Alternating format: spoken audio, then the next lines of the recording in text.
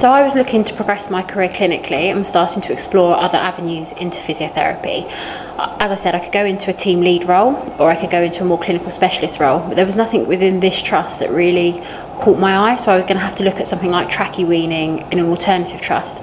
I didn't really want to leave because I've been here for a long time and I really enjoy working here. So when I heard that the Band 7 ward sister post became available to AHPs, it really interested me, especially when I heard that the focus was going to be on teaching, educating, and obviously looking after alternative airways such as laryngectomies, tracheostomies, and ensuring that the staff were well trained for that.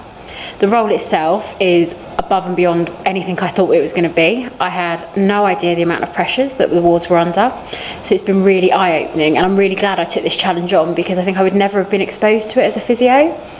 Um, the other thing that's come to light that I really enjoy is end of life care. As a physio, you do get to work with patients at the end of their life, but when you're on the ward and you're living and breathing it with the families, it's really different and it's, it's very satisfying to help people to try and get that right for people. My day-to-day -day job involves a variety of things, coordinating the staff, coordinating the shift, managing the ward, working alongside the matron. We tend to work back-to-back -to, ensure there's always seniors on the ward. Um, I could, I could be doing anything from personal care to suctioning to teaching someone about NIV. This job's been really eye-opening. Uh, I would have said that when I worked purely as a physiotherapist that I was 100% integrated into my ward. The thing that's really struck me is the amount of visitors you get to the ward. You work with a great deal of different people, uh, different professions, dietitians, speech and language, occupational therapists, doctors, and a lot of those visit your ward and leave. Um, I would have said to you that I was integrated, I would have sworn blind, but we're really not.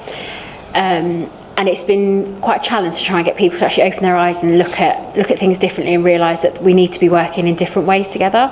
Something that really struck me when I first started was that you'd hear the dietitians or speech and language therapy say, "Could someone come and reposition this patient?" or "Can someone weigh this patient for me?" When if they're here and that's part of what they need, why are they unable to do that? So when I explored that, it actually turns out that some of them aren't trained from a manual handling point of view.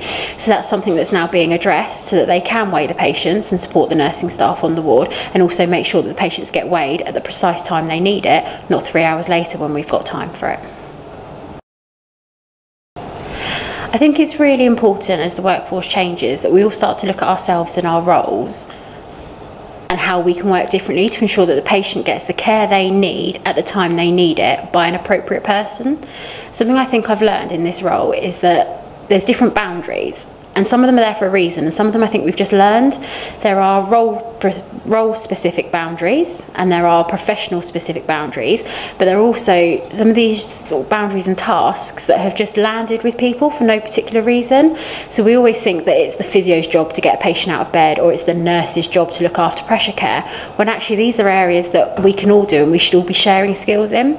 I can give you an example of myself. A few weeks ago where I had a patient who was deteriorating the doctors and I were unsure, we weren't sure, you know, is it all secretions or is there an element of heart failure? So I wanted the patient to go onto a fluid balance chart.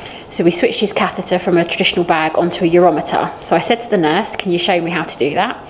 Thinking, oh, I'm going to learn something really complex. And I was absolutely horrified when I literally watched her unplug it and plug the next one in. Now, if I had known that before I was in this role, I would have done that years ago. And I think a lot of professions are really open to these change and working in new ways. It's just that we don't know the skills we need to know. And by learning them, the patient's going to get the care they need right there and then instead of waiting.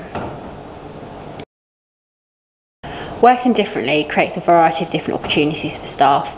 You get exposure to different areas of patient care, different areas of what's going on in the hospital, and you just get experience in the wider picture of what's going on, especially what's going on for that patient and what that patient needs in order to get to the destination they want to be at, whether that's end of life care back home so they can sleep in the bed next to their other half.